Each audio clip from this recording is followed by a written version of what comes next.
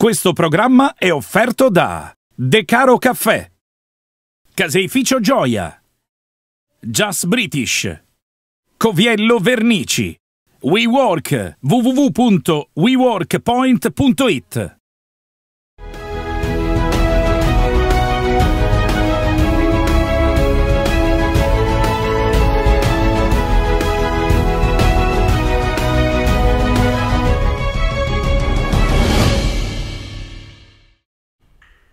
Buonasera e ben ritrovati ad un nuovo appuntamento con il Ruggito Nero Verde, il programma che vi conduce all'interno del mondo bitonto. Tanti gli argomenti di cui parleremo in questa puntata, c'è da analizzare la sconfitta per 1-0 contro il Rotonda che ha inaugurato la gestione del duo formato da Vincenzo Santorugo e Francesco Modesto alla guida del Bitonto, ma ci sarà soprattutto da proiettarsi alla prossima partita contro la Gelbison. Tanti dunque gli argomenti che sviscereremo in compagnia dei miei due ospiti che vado subito a presentare. Michele Aprile, difensore del Bitonto. Michele, ciao. Buonasera a tutti, grazie per l'invito. E poi un, un abitué del ruggito nero-verde, potremmo dire un, uno dei padroni di casa del ruggito nero-verde, Mario Sicolo, direttore del Dabitonto. Un caro saluto a tutti i fedelissimi neroverdi che ci ascoltano da ogni angolo dell'orbe terracqueo, multimediale e non solo. Ormai anche, tuoi, anche, il tuo saluto è diventato un po' il biglietto da visita di questa trasmissione. Però naturalmente a te tutto è concesso, direttore. Allora partiamo subito con le immagini della partita che il Bitonto ha perso per 1-0 contro il Rotonda. Mandiamo subito gli highlights della partita e approfitto per ringraziare Danilo Mingirulli alla parte tecnica e WeWork che ci ospita all'interno dei suoi locali il servizio e poi ne parliamo in studio.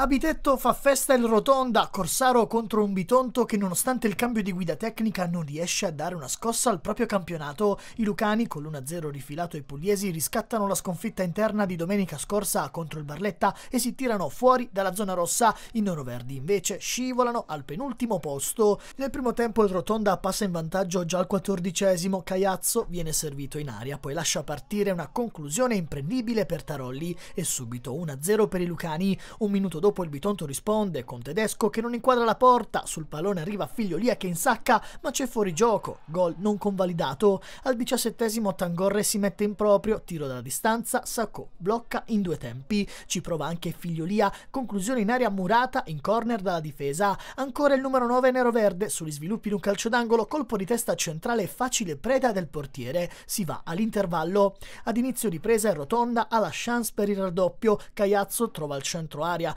Fernandez che tuttavia sbaglia la mira. Sempre Fernandez poco dopo prova l'Eurogol da centrocampo, Tarolli è attento e mette in angolo. Il Bitonto si fa vedere dall'altra parte con Marchitelli, conclusione debole. Al ventisettesimo proteste in casa neroverde, Tedesco trova la rete ma l'arbitro ferma tutto per un possibile tocco col braccio durante lo stop dell'attaccante. Partita che poi si complica per i pugliesi al 33esimo con la doppia munizione di Scardigno che lascia in 10 i compagni. Nel finale Bitonto però ci crede vede sfiorando il pareggio in almeno due occasioni. Sacco è miracoloso sul tentativo ravvicinato di Tangorre, sulla ribattuta arriva Figliolia di testa, Calleggiari ci mette la sua di testa, pallone sulla traversa e poi allontanato. Rotonda che si salva e porta a casa il bottino pieno. Tanto lavoro da fare per Modesto e Santoruvo, sconfitti all'esordio. Nel prossimo turno i neroverdi saranno di scena ad Agropoli contro la Gelbison. Rotonda atteso dalla sfida di Coppa Italia di mercoledì contro la Cavese. Si riparte dal secondo tempo con il punteggio di 2-0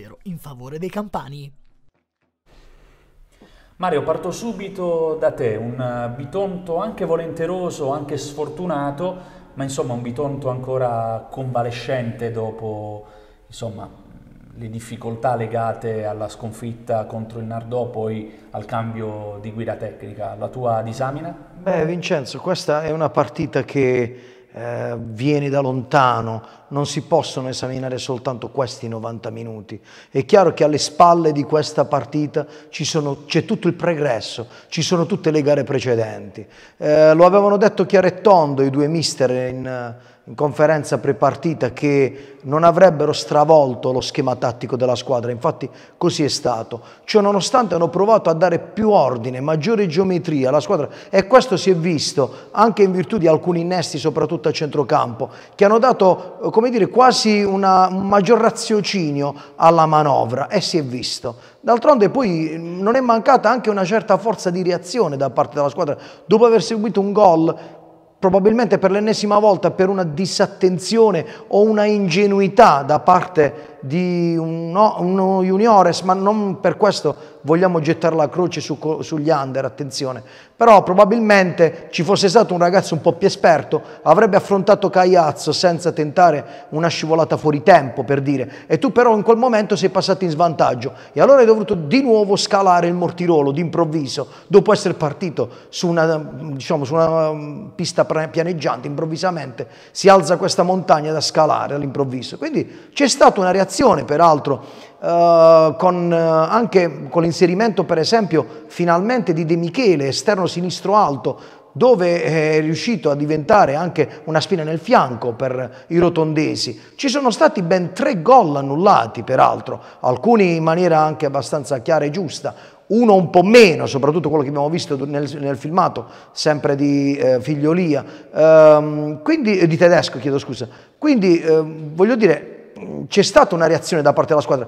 Non c'era nel filmato anche un fallo che è stato compiuto ai danni di Tedesco su una palla a spiovere in area di rigore, credo messa al centro proprio dal giovanissimo Samuele De Michele. Il nostro attaccante è stato spinto da Tergo, l'arbitro non ha eh, ritenuto giusto e opportuno in quel momento fischiare il penalty, quindi c'è stato un segnale. Ora è chiaro che dovranno lavorare su questo segnale e cercare quanto più di non far sì che abbia un peso psicologico negativo sul gruppo, perché tra l'altro, come dire, loro stessi ci hanno detto che hanno trovato un, uno spogliatoio scarico, soprattutto sotto l'aspetto mentale, perché così può succedere quando magari i risultati sono negativi e si accavallano un dietro l'altro in maniera quasi inesorabile. Michele, tu sei, diciamo, l'ultimo arrivato in eh, casa Bitonto. Ecco, sei arrivato in un momento particolare, come eh, sottolineava anche eh, Mario. La tua percezione, diciamo, dall'esterno di questo inizio di stagione del Bitonto qual è stata? Anche se, diciamo, nel tuo caso parlare di esterno, viste le tue, visto che sei di qui, è un po', diciamo, curioso, lo mettiamo tra virgolette, diciamo. Sì, no, naturalmente parlare di quello che, che, è stato mi risulta difficile, non mi sembra neanche adeguato, visto che non rientravo eh, in, in, quel contesto. Io sono arrivato la scorsa settimana, eh, anche successivamente al cambio di guida tecnica, quindi mi sono trovato eh, in uno spogliatoio che comunque eh, ha grande voglia di, di, di, tirarsi fuori da quella situazione. Naturalmente, come, come dice il direttore, come ha detto il direttore, eh, sono situazioni che comunque magari mentalmente un po' eh, tendono a, a condizionarti eh, perché poi eh, in ognuno di, di, noi che scende in campo c'è quella, quella, voglia di, eh, di far bene che viene a volte tramutata in, in, ansia o voglia eccessiva, quindi diciamo, era, penso che il ruolo degli dell'allenatore in questo momento è quello di cercare di dare più, uh, più, serenità possibile a un gruppo che giustamente magari ha uh, un pregresso, uno storico uh, non positivo purtroppo fino ad ora, domenica comunque penso che si sia vista una prestazione di una squadra che comunque non meritava di uscire dal campo con una, con una sconfitta. Poi magari anche domenica l'episodio di, di, un grande gol che è stato fatto anche dal, dal giocatore avversario, eh, ripeto, rip, continua un po' il discorso del direttore, ci si trova poi subito eh, in salita, quindi mentalmente eh, può, non, può, non, aiutarti. Eh, però sicuramente penso dall'esterno voi avete visto le, le partite, io non ho avuto modo eh, perché la domenica ero impegnato diciamo, con la mia precedente squadra di, di vedere le partite, eh, però domenica ho visto una squadra eh, che ha reagito bene dopo, un, dopo, il gol subito e che ha fatto di tutto per poter eh, quantomeno pareggiare la partita, che era forse il risultato dopo l'occasione di, di, Simone, di Figlioli all'ultimo, era il risultato minimo che, che avremmo meritato, però eh, come anche ci siamo detti nello spogliatoio alla fine, eh, la rabbia del non aver raggiunto un risultato che meritavamo eh, ci deve consentire di lavorare in vista di una partita importante contro una squadra importante, allestita eh, con un organico importante per poter diciamo, fare bene. Quindi, la rabbia del, ripeto, del, del, risultato non raggiunto ci deve proiettare a fare una, una prestazione importante poi domenica. Diamo uno sguardo alla, ai risultati dell'ultimo turno e anche poi alla classifica. Chiedo supporto a Danilo Mingirulli alla parte tecnica. Undicesima giornata, Angri Nardò 0-2, Barletta Gravina 3-2, Bitonto Rotonda 0-1, abbiamo appena visto le immagini, Gallipoli Fidelisandria 3-2, Manfredonia Gelbison 1-1, Matera Palmese 1-1, Paganese Casarano 0-1, Santa Maria Cilento Team Altamura 0-5, Fasano Martina 1-1 per una classifica che si delinea in questo modo Team Altamura guida il campionato con 23 punti, seguito a, 20, a, quota 20 dal terzetto composto da Casarano, Fasano e Nardò, 19 punti per il Barletta, 18 per la coppia Matera-Gelbison, 17 per Fidelisandria e Martina, 14 per la Paganese, 13 per il Rotonda, 12 per il Santa Maria Cilento, 11 per l'Angri, 9 per Gravina, Manfredonia e Gallipoli, 8 per il Bitonto. Chiude la graduatoria la Palmese a 7 punti. Eh, Mario, questa classifica in testa e in coda cosa ci dice? Eh, ci dice che man mano che si va avanti, innanzitutto non c'è una squadra a punteggio pieno, il che sta a significare che questo campionato, se possibile, è ancora più equilibrato e incerto di quelli precedenti, atteso il fatto che stiamo parlando del girone più difficile in assoluto di tutti i gironi del, della Serie D, del, campio, del, quarto campionato nazionale italiano.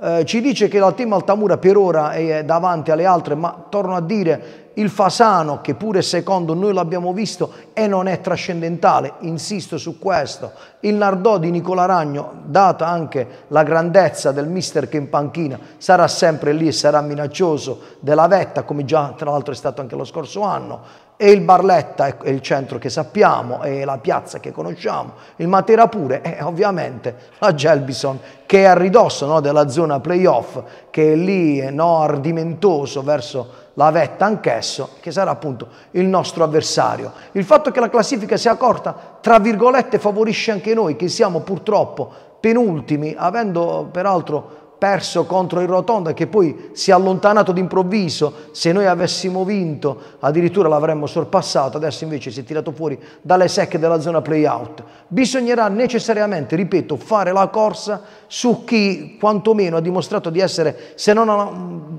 inferiore a noi, almeno alla nostra altezza. Su quale bisogna fare la corsa e comunque torno a dire perché fino a domenica scorsa con una vittoria ti tiravi fuori dalla zona playout. Adesso diventa un po' più difficile perché nel frattempo si stanno staccando e le squadre che proprio non riescono a realizzare risultati positivi finiscono per rimanere nei bassi fondi.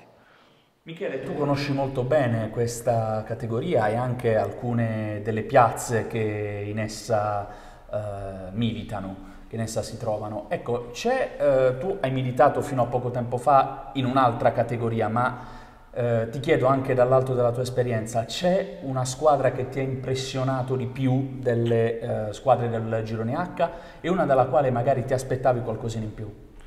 Ma sicuramente eh, le squadre che avevano allestito gli organici più importanti, eh, tipo Altamura, Casarano, Nardò, eh, io evidenzierei il fatto che non hanno avuto un inizio di stagione tolto la team Altamura, ma se pensiamo magari a Casarano e Nardò che adesso sono lì, eh, hanno avuto un inizio di, di, di, di stagione non, non, facile, ci sono stati anche dei problemi in, in squadra e così via, però io sono dell'idea che, che, poi alla lunga se una squadra ha dei valori e quei valori emergono, quindi pensando a quello che diciamo un po' casa nostra, eh, io sono convinto che il mister riuscirà a far emergere eh, anche in, in ognuno di noi dei valori che messi a disposizione del gruppo possono consentirci di tirarci fuori. Eh, se si pensa che la Fidelissandria ieri mi è capitato di leggere delle, del cambio di panchina e c'era una statistica che nelle ultime, se non sbaglio, 7-8 partite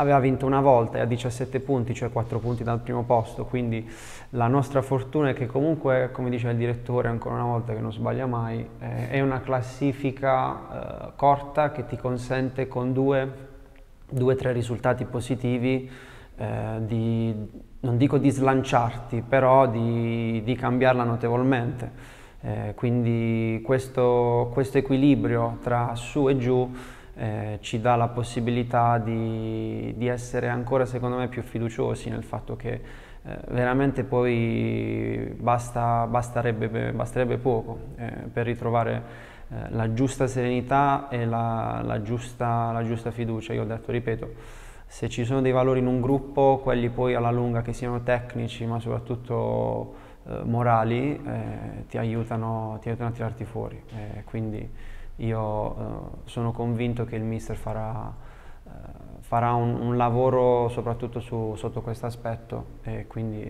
io sono molto molto molto fiducioso. Allora andiamo ad ascoltare le parole del presidente del Bitonto Calcio Antonello Orlino e del tecnico Vincenzo Santoruvo e poi ne parliamo.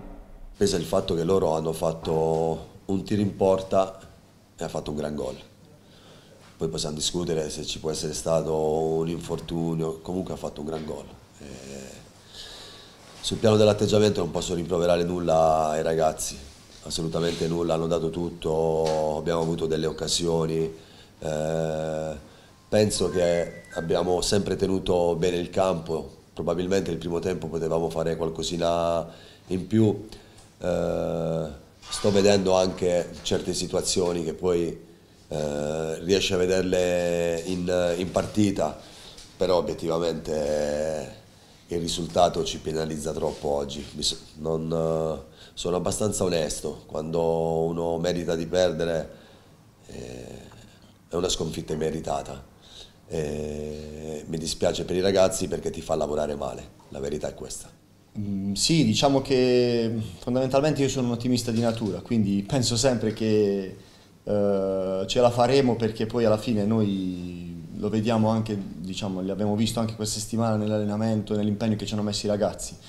E poi alla fine oggi parliamo di una partita dove fondamentalmente abbiamo pressato per 90 minuti, abbiamo fatto tre gol, ci sono stati annullati, una traversa incredibile, un paio di occasioni dove per, con un pizzico di fortuna forse uh, un rigore ci poteva stare, però Uh, poi alla fine ti ritrovi così 0 a 1, ma uh, noi sapevamo che uh, poteva starci, anche perché, come diceva il mister, voglio dire, in una settimana si può fare ben poco, però è da apprezzare l'impegno che ci hanno messo per 90 minuti 15-16 ragazzi, perché poi chi è entrato dalla panchina è entrato anche alla grande, quindi dobbiamo continuare così e sicuramente non si può essere sfortunati per, per, otto mesi, quindi prima o poi ci sarà il, il cambio di rotta e eh, ci toglieremo le soddisfazioni che ci meritiamo.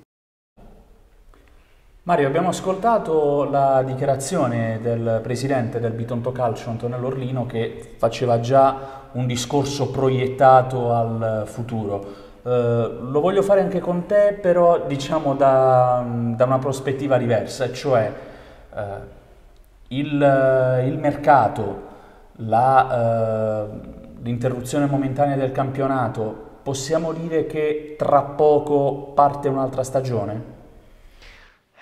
Caro Vincenzo, è quasi sempre così e noi sappiamo meglio di tutti quanti quanto eh, gli interventi adesso nella finestra, cosiddetta finestra eh, autunnale decembrina fino a gennaio, insomma, interverranno sul mercato quasi tutte le società. Il rischio sarà sempre quello di trovare di fronte squadre ben diverse da quelle che si è affrontato in questo primo scorcio di stagione, da un lato. Dall'altro quasi certamente anche il Bitonto dovrà intervenire sul mercato e tra le righe penso che lo abbia fatto capire già eh, il DS Leonardo Rubini. Peraltro abbiamo noi oggi ospite no? uno che eh, rappresenta a, a tutti gli effetti un rinforzo della difesa.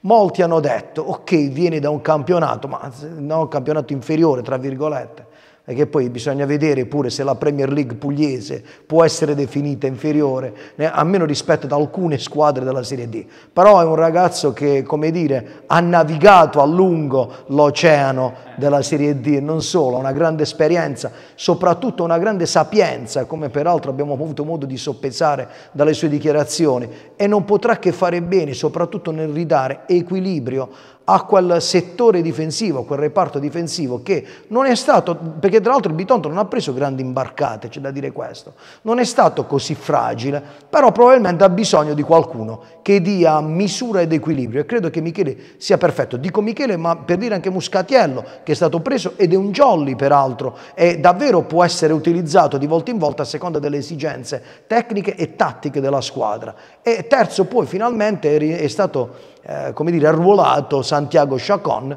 che eh, magari io personalmente lo ricordo devastante qualche metro più in là, eh, domenica è stato utilizzato come mero sostituto di Pizzutelli a centrocampo, perché probabilmente come registi puri non ci sono uh, figure adeguate quindi magari in quel momento me, doveva essere utilizzato lì. Io personalmente, ripeto, lo ricordo uh, molto più incisivo se utilizzato a ridosso no, delle punte dietro uh, al limite dell'area di rigore da questo lato. Poi dall'altro è chiaro che si dovrà intervenire. Io insisto sempre nella ricerca magari di qualche under non, eh, diciamo, che abbia un minutaggio superiore almeno in questa serie, perché fa può far tanta la differenza. Dal momento che la stagione è partita, siamo già a buon punto del girone d'andata e ehm, giustamente, eh, ecco Michele, parlo di Michele perché Michele è un over, è un veterano, e Michele potrebbe essere il profilo giusto di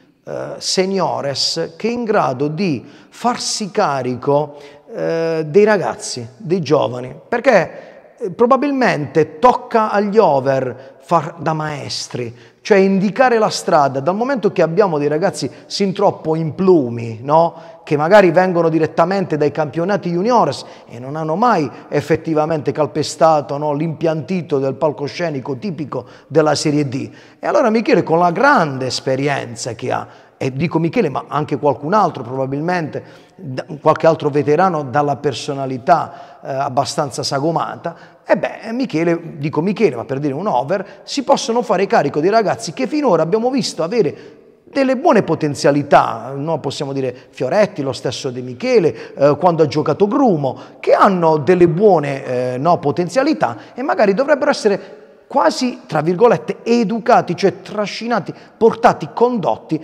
verso un miglioramento più omogeneo e più completo di quella stessa personalità, della loro identità tecnico-tattica calcistica. Poi per il resto, se dovessero arrivare degli under, ma è un po' difficile adesso trovarli sul mercato, che abbiano già fatto esperienza in quarta serie, tanto di guadagnato. E poi c'è anche il fatto, al di là delle giuste considerazioni che facevi tu sul mercato, anche secondo me anche la possibilità di incidere di più da parte di Santuruvo e Modesto, perché è chiaro che in questo momento sono tra virgolette saltati sul cavallo in corsa, magari con la pausa invernale, con il mercato avranno la possibilità magari di incidere con un lavoro più profondo. Guarda, guarda Vince, io quando eh, sentì i nomi di coloro che sarebbero stati eh, gli eredi della panchina, eh, post Valeriano Loseto che, voglio dire, resta comunque un grande condottiero, ci tengo a sottolinearlo, al di là diciamo, delle vicissitudini di questa stagione, tutt'altro che positive, però diciamo che resta un grande condottiero. Una volta, nel momento in cui sono stati eh, scelti loro come no, successori, abbiamo pensato come effettivamente fossero, quando eh, erano loro a calpestare l'erba, eh, erano, eh, ricoprivano ruoli antitetici no? e quindi potevano tranquillamente completarsi perché eh, Vincenzo eh, era un attaccante fulmineo e callido, eh, Francesco lo conosciamo un po' tutti, era un difensore robusto e arcigno, quindi sono perfetti nell'integrarsi Probabilmente, e quindi potrebbero effettivamente dare un occhio abbastanza competente ai due settori no, nevralgici, l'attacco e la difesa, e nel centro appunto il, la, la metà del campo, la linea mediana, e loro probabilmente apporteranno, credo, anche qualche piccola eh, correzione tattica rispetto al classico 3-5-2 del mister precedente e probabilmente sì, da domenica forse si comincerà a vedere, o l'altra ancora, se non addirittura l'altra ancora, si comincerà a vedere la mano dei due allenatori. Michele, a te invece voglio chiedere, eh, riagganciandomi anche alla considerazione che faceva Mario in precedenza, ecco, tu sei già stato, eh, abbiamo detto, hai mm, militato in diverse squadre che compongono il girone C, sei stato anche a Bitonto, quindi per te è un ritorno. Eh, ti chiedo, eh, questo ruolo, diciamo, di, tra virgolette, guida magari nei confronti dei compagni più, più giovani, eh, diciamo, come lo vivi? Ma è una cosa che sicuramente mi, mi, fa, mi, fa, piacere perché sono stato, tra virgolette, dall'altra parte anch'io, quindi eh, io mi reputo fortunato perché ho sempre vissuto eh, spogliatoi importanti, in piazze importanti, quindi con, con giocatori eh, importanti che mi hanno dato tanto, quindi eh, avendo avuto dall'altra parte eh, sempre qualcuno che avesse una parola in più, un consiglio in più, poi naturalmente eh, sta anche al, al, giovane aver voglia di, di rubare, di, di, imparare, di ascoltare, di essere, se possiamo dirlo, poco permalosi, perché molte volte un rimprovero non è un rimprovero ma è un consiglio, poi eh, naturalmente c'è modo e modo per, per farlo, quindi eh, poi ripeto da, da, da, Bitontino a Bitonto eh, una responsabilità eh, e anche un, un, orgoglio maggiore eh, poter contribuire eh, a quello che poi è l'obiettivo della, della società. Però ti ripeto sul, sul discorso di, di, guida è una, una cosa che che mi, mi, mi, carica di, se possiamo dire così, di, di, responsabilità, ma più che di responsabilità di, di piacere, perché sappiamo che nella crescita di, una squadra, soprattutto in Serie D con uh, la presenza uh, obbligatoria dei, di quattro under in campo, ehm, sono, uh, ricoprono un ruolo, un ruolo fondamentale, eh, quattro in campo più molti eh, pronti fuori, diciamo che in un organico metà squadra è composta da, da under e, far lavorare, dare una cultura di insegnare, diciamo, una cultura di lavoro, un, un modo di, di, affrontare la settimana eh, alla fine di giovamento per tutti perché eh, si alza la qualità dell'allenamento, si alza l'intensità dell'allenamento e poi quello che uno fa in settimana eh, lo, porta, lo porta a domenica. Io dico sempre ai ragazzi con cui mi, eh, mi trovo a vivere gli spogliatoi di essere, di essere, ambiziosi, nel senso di non accontentarsi eh, di quella che può essere eh, la realtà momentanea in qualsiasi spogliatoio in cui sono stato, cercare sempre di, eh, di migliorarsi, di lavorare quotidianamente. oggi eh, è anche difficile magari trovare questa predisposizione per via delle tante distrazioni che, che ci sono, però I ragazzi che ho avuto modo di conoscere mi sembrano tutti dei ragazzi uh, predisposti a, a, lavorare e certo sta, come diceva il direttore, sta a noi eh, dargli, eh, anche trasmettergli quella serenità che in questo momento magari a loro può, può pesare di più rispetto, rispetto a un over. Bene, siamo, in, siamo in addirittura di arrivo e eh, cominciamo a proiettarci già verso la partita di domenica prossima contro la Gelbison fischio l'inizio alle 14.30 e vediamo proprio l'ultimo impegno in campionato della formazione che domenica affronterà il Bitonto. La solita disattenzione difensiva, la solita reazione di nervi e un po' di sana fortuna mai vista al Miramare. Si traduce nell'1-1 contro la forte Gelbison il pomeriggio del Manfredonia, un punto che alimenta speranze e certamente utile nell'economia della classifica. Franco 5 recupera l'acciaccato Ernaiz per la panchina, assenti Forte e Taormina in difesa, così come il pubblico sugli spalti, ma questo ormai non fa più notizia. Rientra Conate che forma con Viti, Bamba e Barbosa una difesa inedita, occasione per Principe a centro centrocampo, Calemme, Pozzebone e Babà in attacco. Grande tenore tecnico nel 3-5-2 della Gelbison di Alessandro Monticciolo. Manzo guida le operazioni in mezzo al campo, Croce e Bubas completano il 3-5-2. È proprio dell'ex Andre Cavese il primo tentativo di giornata. Non male la soluzione a giro, così come la pronta risposta di Paduano. Ci riprova al nonno l'argentino. Delizioso velo di Cruce lo mette in moto, ma la conclusione è strozzata. Rispetto per l'avversario, ma nessuna forma di paura per il Manfredonia. A metà frazione i biancocelesti protestano per un mani di De Pasquali in area campana,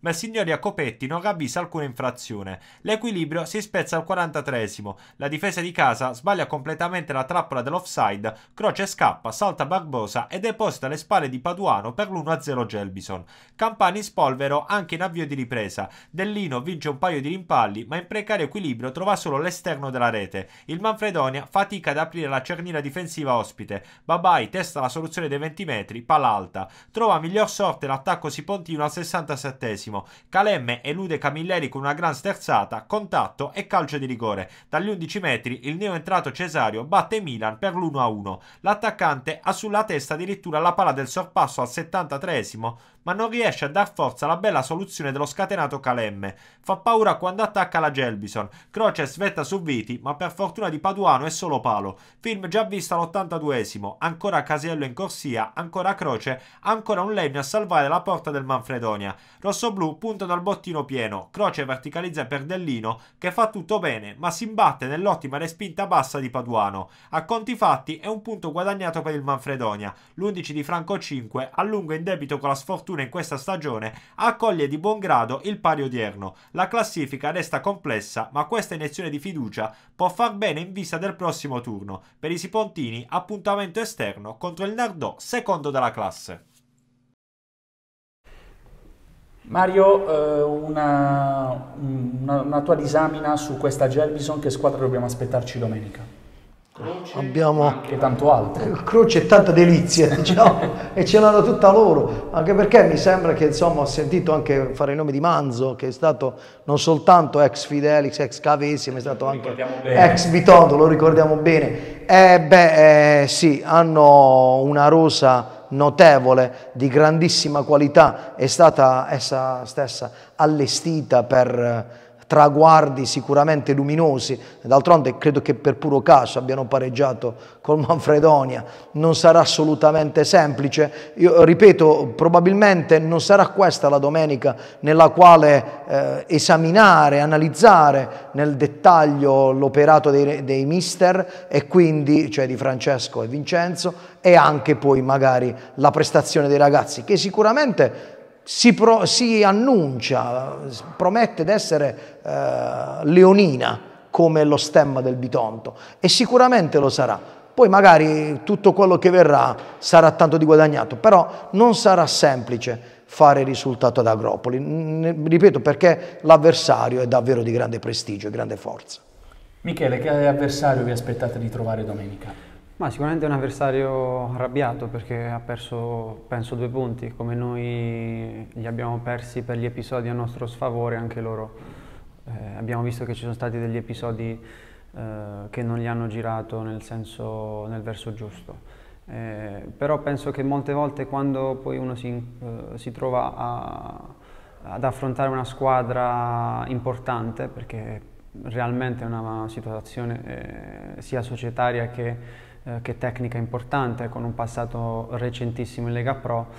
Eh, molte volte eh, bisogna essere, sia sicuramente è uno, stimolo, è uno stimolo in più, e poi bisogna essere bravi in campo a, ad azzerare i valori e cercare di capire eh, alla fine eh, è una partita che uno si deve giocare eh, con equilibrio ma guardando secondo me poco la, la classifica perché poi eh, ripeto loro arrabbiati noi eh, anche di più eh, stiamo lavorando stiamo preparando una settimana, una settimana importante. Io mi auguro che ci possa essere subito eh, quell'episodio quella, quella scintilla che poi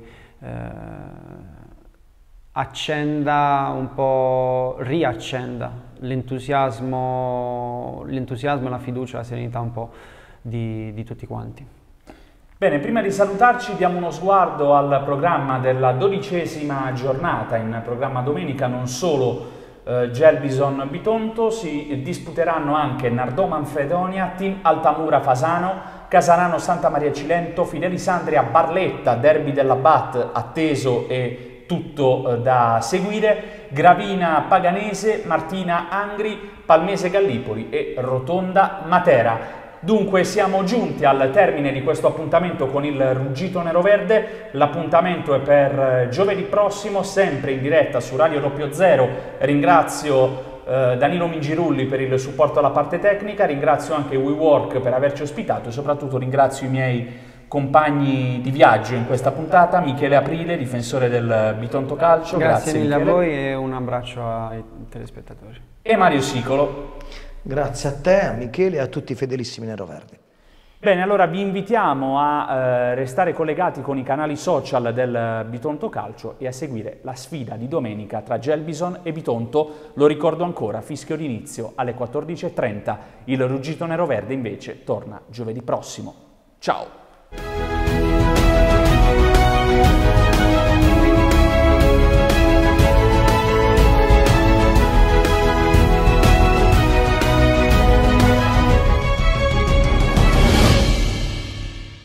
Questo programma è stato offerto da De Caro Caffè, Caseificio Gioia, Just British, Coviello Vernici, WeWork www.weworkpoint.it